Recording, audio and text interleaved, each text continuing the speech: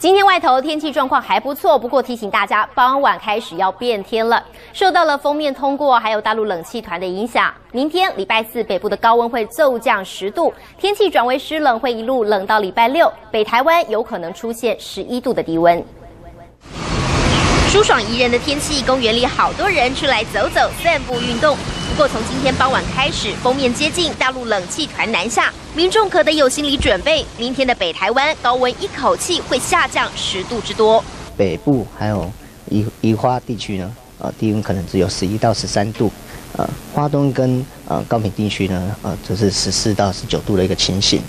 呃，所以整个温度降幅是比较明显的，而且不只是冷，北部、东北部和中南部山区还会下起阵雨。湿冷的天气，出门记得带伞加外套。其他地区转为多云，冷气团的影响会一直持续到周六晚上。啊，礼拜天之后呢，天气会逐渐趋向稳定，啊，一直到下周二呢。啊，整个呃天气呢都是呃各地大大致上都可以维持多云到晴的天气。周末想安排外出，礼拜六天气还不稳定，礼拜天冷气团减弱，温度回升，雨势也会停歇，从事户外活动比较适合。